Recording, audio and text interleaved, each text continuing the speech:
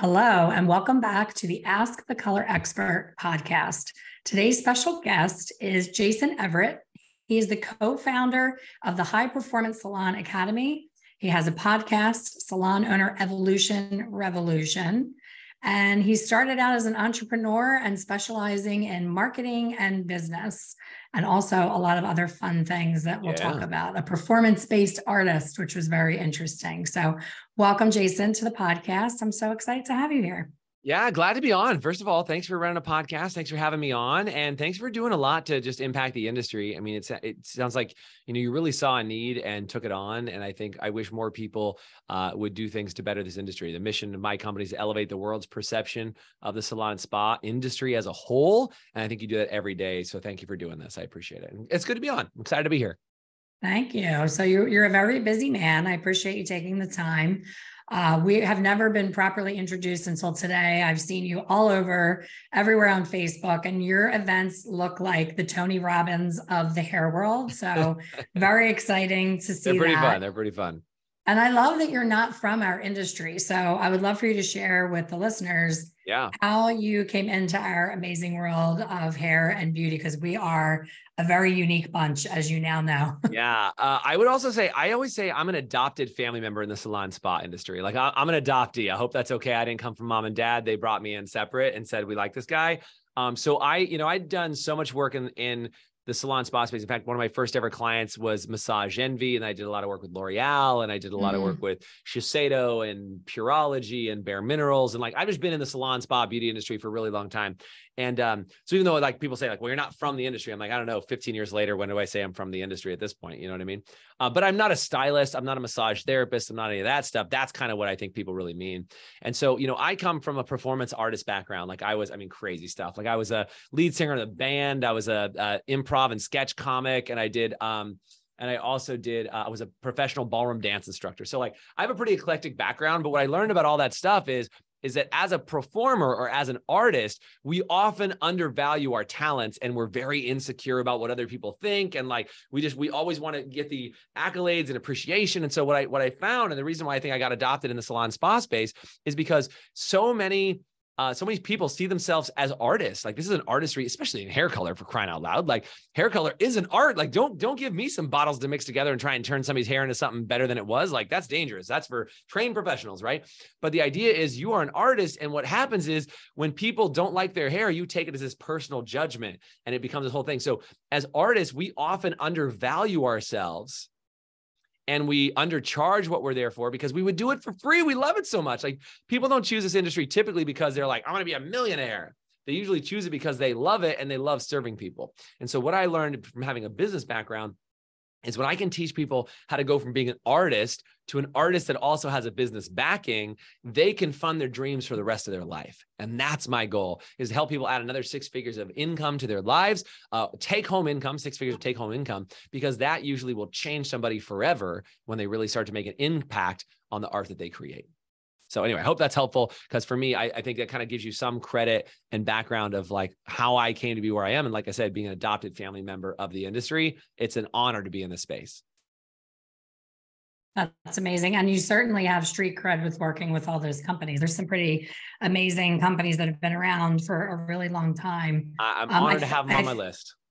I think something that a lot of people are struggling with now is the bigger box um, retail outlets of Amazon and Sephora and Ulta and all of those places, the average salon stylist and especially salon owners are feeling a little bit frustrated. I know for myself, as owning a salon for 32 years, the last two years that I was behind the chair, you know, I would have a product in my hand, show the client what what I'm using, and they literally would take out their phone and go on their Amazon account and they're and I'm like, and at first I didn't say anything because I was like embarrassed to say anything, but then I was like, they should be embarrassed for doing it so obviously, you know. And I would say, Can I ask why you're doing that?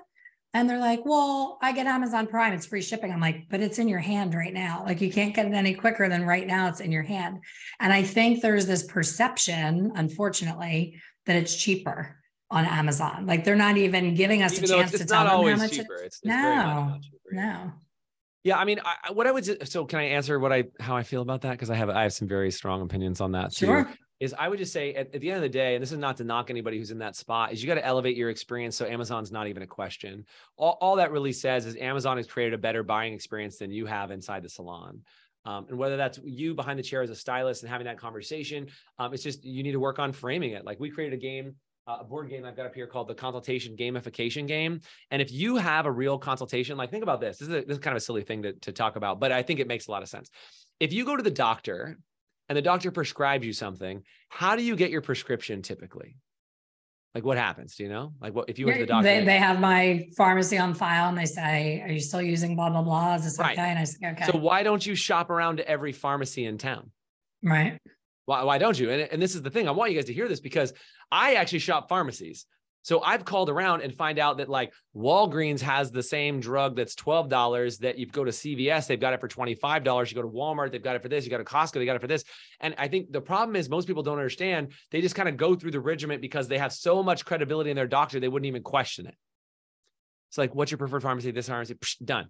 So the same question becomes is if you've created a buying situation, a buying process where you just gently present a product, this is not knocking anybody, but if you're like gently present a product and just say, here you go, they'll default to their normal buying behavior, which is let me scan that and see if it's on Amazon. They're, they're in default mode. You've got to snap them out of that repeating pattern behavior and actually create a high quality cus- customized consultation. I didn't know if we're going to go down this path, but I'll go down it for a second. Is that if you, um, for example, if they check in and they have a they have a, a, a get to know you sheet that they actually get when they walk in the door and it asks them all these questions: What products are you using at home? Uh, would you like me to recommend things for you? Um, you know, how often are you using it? Why did you decide to use that product? Product and you're asking them all these questions and then during the service, you go, Hey, you know, it's nice to meet you. I'm Jason. I'm going to actually spend some time with you today and recommend some products. And at the end of the day today, I'm going to actually make it so easy that when you walk out the door, you'll be able to leave with any of the products that you wanted to have in your hands. So you don't have to worry about ordering online or taking care of anything like that. And if for any reason you ever do find something like that online, I'm happy to price match that for you, make sure that it's taken care of. Now, what did I just do? I pre-frame their entire buying experience so that by the time they get to that purchasing decision, they're not on default in their automatic behavior to say, maybe I can get that on Amazon cheaper that they check everything on anyway in their pattern. And they'll appreciate the fact that you as a colorist, it could be a massage therapist, could be anything, that your experience is so customized for them. It's like a four seasons or a, or a, um, what's the other one? I was going to say four seasons or a, I don't know what the other big hotel chain Ritz Carlton, probably. yeah. Anyway, yeah, Ritz. Thank you, Ritz Carlton. That's what I was going for. It's such a Ritz Carlton experience that everything's just there and provided for them, and they're just like, "This is incredible," and they feel catered to and taken care of. That they totally have a different experience. And I always tell people, you know, you didn't, you kind of brought this up earlier, but like box dye, like I'll bring it up this way for your your people, right? Box dye versus getting your hair colored in the salon if you have a problem that people are like going, oh, well, sometimes I box dye my hair and sometimes I come in and get color, I'm going to be really honest with your listeners. Hope that's cool. That's the wrong customer for you. Um, mm-hmm. If if a ten dollar box of hair color or twenty dollar box of hair color is their preference, like be free, my child. Go, go do box color on your own. I am not box color. I am the Ferrari, and you are talking about a bicycle. We're not even in the same stratosphere. So that probably means you're undercharging, you're undervaluing, and you have the wrong customer sitting in your chair. You do discounts, you provide all these things, which again, as an artist, people typically do you want to find people that are not deal hunters. We're not Walmart. If you are a high end colorist, you need to be providing a high end service and you get to work on the entire experience to wrap that client in something that they wouldn't even think to go somewhere else and do it. And, and I say that as the nicest way possible of just saying you got to elevate the experience. They don't even think about it. You know what I mean? And provide an experience that they can't buy anywhere else, that they wouldn't ever second guess you or shop you or figure that out. Does that make sense? Absolutely. I want to hear more about your game with the consultation because, in my opinion, yeah. as an educator and a salon owner and an actual colorist, yeah, my my feeling is that the consultation is the most skipped over or rushed part of the service Always. and is the most important part of the service. Okay, so crazy stat. If you ask stylists how often do they give a consultation, they would say 90% of the time that they uh, that they give a consultation to their guests. If you ask guests that go into a salon how often do they receive a consultation, right. will tell you less than 5% of the time they've ever even received a consultation. In fact, in most conversations, when I explain what I believe to be a consultation to my friends that are not in this industry, and again, I'm not from this industry, so I have a lot of friends that are not from this too, is they say to me, What's a consultation?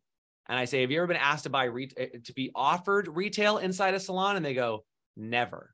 And I can Never. sit in a salon when I get my haircut and hear retail not being offered over and over and over and over and over. And the lie and the delusion is that people offer retail and they give consultations even though they don't. And what they really mean is for new guests in my chair, I try to give them a consultation, and then I just cross my fingers and hope that they buy retail the next time that they're there. Absolutely, I agree. That's exactly what happens. It's it's the the uh, colorist who's mixing the client's formula when they see them pulling up out front and parking. Totally. Not asking them how was your color net last time? Do we need to tweak anything? How about a couple sparkles around the face? You know, giving them you know inspiration to make a change. It's just like chop chop get in my chair i'm behind i gotta get to the right. next person and, the, the reality is you are, as an artist are focused on what you're about to produce as art but if you realize that the art is really the care of that human that's about to sit in your to sit in your chair and that you care about your art and, and this is this is harsh but again, I call these love punches when I say something with love from my heart that will make a change in you. I'm intentionally saying things that will create a stirring inside you that you take action on differently. So we call them love punches. Hopefully, you're cool with love punches as often as possible. But the problem is, most stylists care about the client, how they look when they leave the chair. My goal is to create clients that care what that style, or sorry, stylists that create care for the clients and what they look like every single day and they would never let them go home and use you know tail and mane or hair and mane or whatever the shampoo is or pert plus or like if you want that hair to look just as badass, excuse my language, as it is when they leave the salon every single day, they're leaving with professional products, they're leaving with professional styling tools, and they know exactly how to maintain their hair because you've educated them, you've shown them how to do it, and you put a little basket together of what they're going to leave with so they can maintain that look at home. The other 45, 44 days between visits that they usually come back in the salon are more important than when they leave. And if you're only focused on when they leave, that's the problem. Amen. Woo! So tell me about your game. Let's do it. Yeah. So uh, I'll give you the short version. I don't mean to make this pitch for the game. However, if you do want to buy it, it is available. Um, and I would say you can go on to highperformancesalon.com and it should say the game somewhere on there. Uh, and it's not super expensive. It's just, it's designed to be a teaching tool, right? So the way the consultation game works is that there's a playing game. Uh, there's playing cards that go with it that are unpacking here. But the idea is, is that we give you nine steps of consultation. I'll give you the nine right now. Is you ask them, have them fill out the form, just like I talked about. And then you tell them, okay, what do you love about your hair? What don't you like about your hair? Then you say, here's what type of hair I think you have based on your hair type. What type of products are you using at home right now? What have you been recommended? Who do you listen to about those? Are you open to some suggestions on products to use when you're here? Also, here's what would match your skin tone with your colors that you like to wear. What profession are you in? What do you do for work? Because that'll help me guide some consultation for you. How much upkeep do you want to have? How often uh, do you want to be able to like you know, just style it real quick and walk out the door? Or are you cool spending an hour on your hair every single day? That's an important question to ask, depending on what you want to recommend. And then finally, you write them an actual prescription card that says what the products are, and you pack that product up and make sure they walk out the door with that, like a doctor would. That's why I talk about these references. And that to me, there's way more to it than that, but that to me is a world class consultation. And that's done with every guest every time they come through the door. They fill out the form as a second time guest. You ask them, what have you liked about your hair since last time you here? What haven't you liked? Most people just say, what are we doing today? Same thing as last mm-hmm. time. Oh, that goes right through me. Oh my gosh! Like what that. are we doing today? Come on back. What are we doing Come today? on, man. You know that's the deal. So again, have you tried any new products at home? What do you think of the product that was here? I mean, there's so many different subtle nuances of like guaranteeing products and having all these things. That's part of it, and that's part one of the game. Is you try and there's a drill and skill game pertaining to that.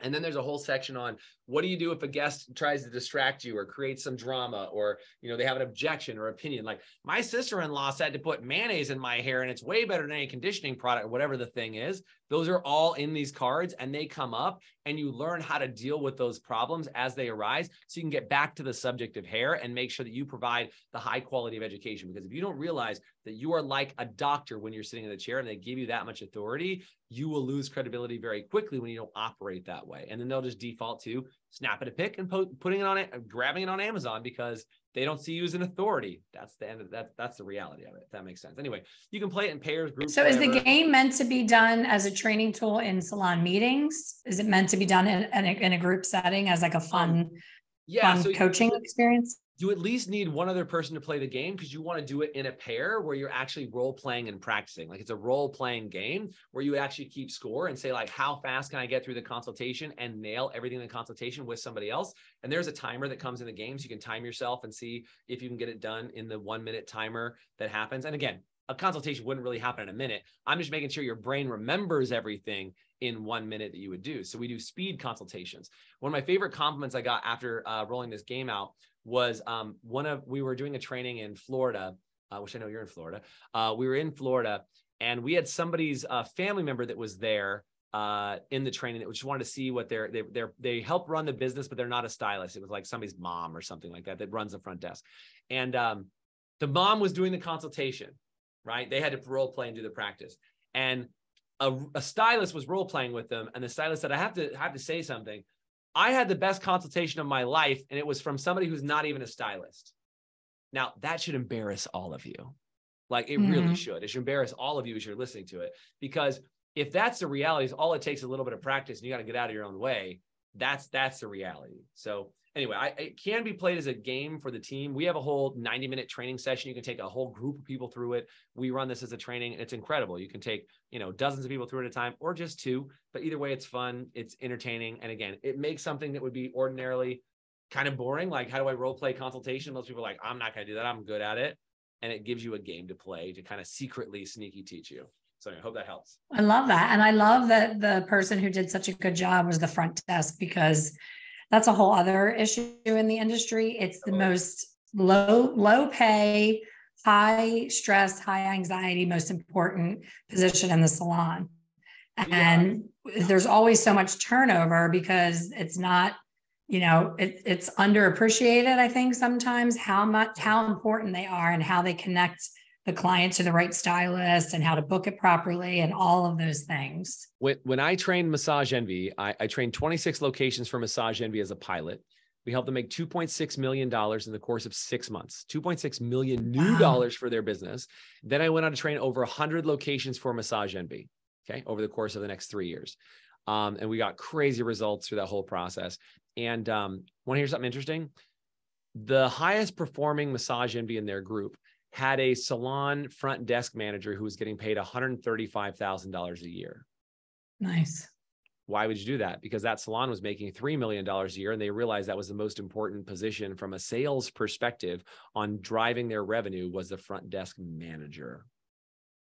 Most people don't think that way. They're like, can I get somebody fresh out of high school to sit at the front desk and occasionally answer the phones because they're cheap? Well, if you're cheap with your front desk person, you're going to be cheap with other things in your area. And again, this ain't Walmart. We're not we're not running a business like that. We are genuinely running a business to help and serve the guest. And if the guest leaves without retail product, we didn't serve them properly. Absolutely. My opinion. My opinion. And especially what if you, you colored their hair and you want their color to stay strong, please don't send them home to use Vidalcis or well, I was gonna say. I was gonna say Vidalcis. I meant well, I meant uh, Pert Plus or some other or uh, Herbal Essence. That's what I was trying to say. Sorry oh, for yeah. Dallas soon. I hope. Well, here here's a funny theory that I I noticed in the salon, and you'll laugh at this, but it, this is the God's honest truth.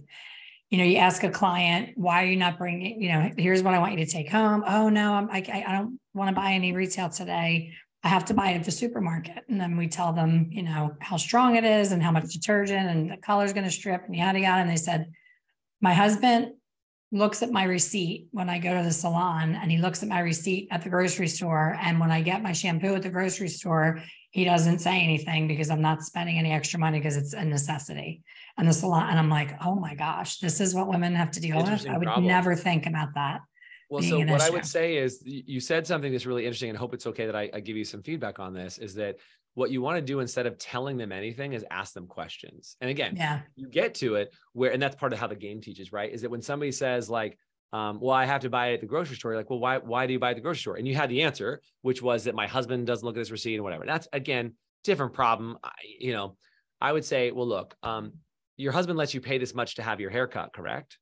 Right? To have your hair cut and colored and do all these things um, would your husband like to make sure that that color stays in and looking as good as long as humanly possible? Because what you're really trying to do is you're trying to identify the real problem. The real problem is not that the husband says buy the thing at the grocery store. That's the symptom. The problem is that the husband is monitoring expenses in that specific scenario. And I don't know what, whatever. We're in a different world. I think sometimes, and I'll just say it that way. My wife doesn't run her shampoo purchases by me. Um, just to clarify in my household how that works. However, what I would say is you now are appealing to a very different problem. The problem is am I getting value? This is really important. Am I getting value for what I've paid for? And the problem is the husband doesn't perceive value from the salon purchase, but does from the grocery store purchase or sees it as a necessity versus etc. But if you're able to say, you know, things like, well, I just want to make sure you know that your color will actually last longer if you use professional products and it'll extend the life of it because you now have an outside decision maker, husband at home, who's also weighing on the purchase. And the problem is no matter what you say to that person who's sitting in your chair, they um have an outside, there's another decision maker. So you have to now, now you're not just selling to the person in the chair, you're selling to the person in the chair and their family member that's having this issue. And it could go the other way. Maybe the wife controls the purchasing. It could go the other way too. But you got to understand that that's the conversation you're having. And until you've role played and practiced that, you won't do it. This is the last thing I'll say about it. I say last thing. Ha ha. I'm sure I got 20 more things to say. I now I lost, lost my train of thought on a joke. Um, what I was going to say is, oh crap, it already lost me. I'll get back to it. it I, I, teased everybody with this big thing I was going to say, and I didn't say it. I'll get back to it. I'll, it'll hit me again. It'll come back. What What do you see? Like for me, the last, I would say, especially last two years, and really not even. I don't even want to talk about. I'm so sick of talking about COVID and the lockdown and all the other things. I really try to avoid that conversation, but the whole industry has been rocked and turned upside down, and there's a lot, a lot of changes what do you as a coach see for the future as the next trend being? You know the, the last year it's you know people running in droves from commission salons into solo suites. I'm starting to see it turn around where they're looking to get back into being with other people and being in more community. What do you think about that? 100% uh, and i remember what i was going to say so i'm going to answer the last question. Oh yeah go ahead go ahead. Um, what i was going to say is not only is it an outside decision maker but it's also uh, the last thing i want to say is that the the biggest problem is that you've had one client tell that to you and you now believe that that's every client who sits in your chair has the the husband who is going to say that. That's exactly. i mean honestly even like what you just said elaine like if one person says that to you it is not everybody in your salon. That was one person. So the best thing you can say to yourself is "This is an isolated incident only pertaining to this guest. I will not make this everybody's problem. And again as a service provider, you typically make one person's problem everybody's problem. If one person can't afford it, everybody can't afford it. If one person says, I don't like when you sell me something, you've now made everybody doesn't like to sell you something. So I just want to make sure I drop that point. I know I I I, I teased it. I let you ask another question. But thank you for letting me go back to it. And I will answer this question about people leaving commission salons. We are actually finding people are massively going back to commission salons now. Um, that's what we're seeing inside of our world. And um, this is going to be a really interesting thing to say, though. I see people massively leaving poor operating commission salons and massively being attracted to well operating commission salons. Oof. Um, it's my belief that we are in a massive leadership shortage in America right now. And I don't care which of our recent presidents you like or don't like. Um, we are in a leadership deficit in this country both both previous presidents. Can i just say it that way? Um, mm-hmm. we are in a world that doesn't understand what leadership is like and we are in a world where people believe you should just do something because i said so damn it no matter what. And um, i think that we have as a industry of the salon spa industry i do say we because i'm adopted in the space we have done a very poor job of upgrading our leadership skill to adjust for what people wanted. We were talking about that before. The reason why our podcast initially was called the Salon Owner Evolution Revolution. By the way, the new podcast name is Salon Profitable Salon Owner. Just, just we've just updated it. Oh, okay, good. we know. just updated it. Uh, I released a book called Profitable Salon Owner. You can go get it on Amazon. Um, or if you DM me, I'll send you a free copy. It's you can get a free digital copy if you want. But our podcast is now called Profitable Salon Owner. The reason why we called it Salon Owner Evolution Revolution, our first podcast, was because even before the pandemic, we were educating people that there was a massive leadership shortage. And then COVID compounded the problem. And people were like, hey, nobody's leading me. I'm basically leading myself. I'm out. I'm out of here. Screw this. They're panicking just as much as I am. I might as well lead myself. But the salon owners that led well through the pandemic, the salon owners that led well on the other side, that doubled down on their coaching, that created better opportunities, that helped them make more money. Like I always tell salon owners, if you do not have six figure take home earners inside your salon, you are part of the problem. And a lot of salon owners are like, what do you mean? I've never even taken home six figures as a stylist. I'm like, well, that's part of the problem. You That's need to elevate problem, yourself yeah. and elevate the stylists that are there because if we can create six figure take home earners inside the salon spa, we will elevate the world's perception of the salon spa industry. And that mom and that dad, when they sit down with that student and they say, I want to go to beauty college instead of go to regular college, that mom and dad don't go, sweetheart, you can only make 30 grand a year doing that. Don't ever do it. Well, BS, I call BS on that. We have people who make $100,000 a year take home. We actually had a salon who said they had two, two $200,000 W 2 earners um, in our academy this year because that is the income opportunity that's there. They're making more than doctors, lawyers, and attorneys in some cases inside the salon spa industry. And that's what will elevate the perception of the industry is when we realize this industry can make money. We do report all the take home income, including tips on their W 2s, and we can change the world's perception of what is done all of a sudden now people want to flood back into commission salons because they realize they can make more money in a commission salon than they can as a renter. Now, if you're a renter and you're like, I left, it's probably because there was a crappy owner there. And like, I can leave myself Yeah. better. I don't fault you for that. But I would say if you were working in a salon and spa that can make you double the income that you could make as a renter right now, would that be appealing and give you the freedom to work when you wanted to work based on your income and availability? That's the type of leadership we need inside salons and spas. And those leaders are having no issues recruiting, no issues taking care of uh, like finding people. And they have incredible salons that make the owner money and the staff a lot of money. Amazing. I actually spoke to someone from a beauty school yesterday, and I was thrilled to hear they're getting record enrollment in beauty school. And I've read recently with, you know, with all the the chat AI robots and everything, they're like, nobody's going to go to college anymore because you can write. We were messing around with it the other night. We had the kids over for my husband's birthday, and we're like, write me a term paper on grapes of wrath. And it was like, "Huh?" you know, so the But world's changing. say, and color my hair from this degree to that degree. That we're not there yet, and I think we're a ways off. That's not coming anytime soon. Yes, so we should thank, be okay. Thank goodness. Elon Musk is not Yeah, coming for your goodness. hairstylist.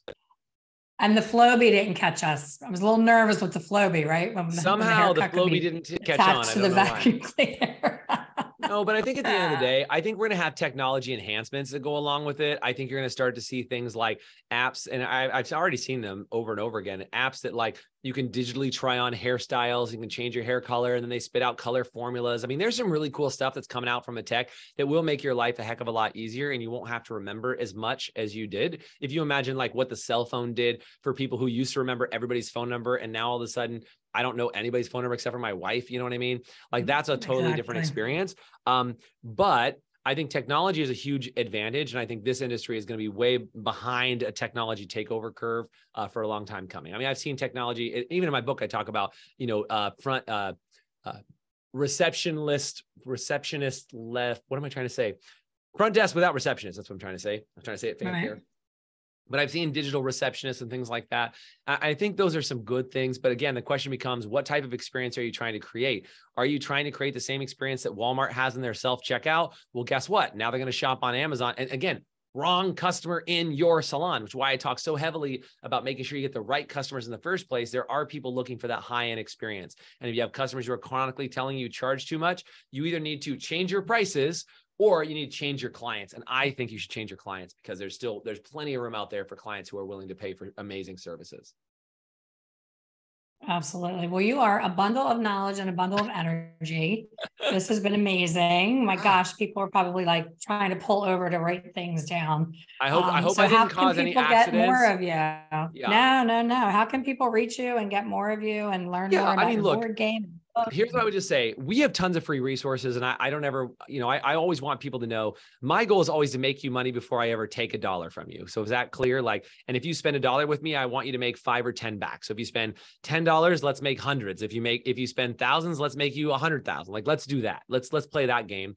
So I have a million free resources. They're very inexpensive. If you want to get our profitable salon owner book, go check it on Amazon. If you want to get our, our uh, consultation gamification, go to highperformancesalon.com. There's a ton of other really cool resources there. But if you just want some free information, you want to ask questions and actually have me answer it, go to our Profitable Salon Owner Facebook group. All you have to do is search Profitable Salon Owner on Facebook, and you'll see we have one of the biggest groups that exists on there. Um, that if you're a salon owner and, and predominantly a salon owner with a team, that's who I usually help. Um, you can apply to join. We don't let everybody in, but if you apply to join, we give you tons of free resources. You can go on YouTube, you can go on TikTok or for crying out loud. I don't know. You go find me somewhere. I probably got some videos there and they're all free. Um, I just feel like if I can help you make money for free, um, you'll come back to me and enjoy it. Think of it like, you know, if you take care of a guest the first time they sit in their chair, they'll come back over and over and over again for years and years in the future. That's what I believe too. Amazing. Thank you so much. It's been an absolute pleasure. Thanks for having me And on. You're thank you everyone for listening. We'll hear, we'll see you on the next one. Great job. Thanks, guys.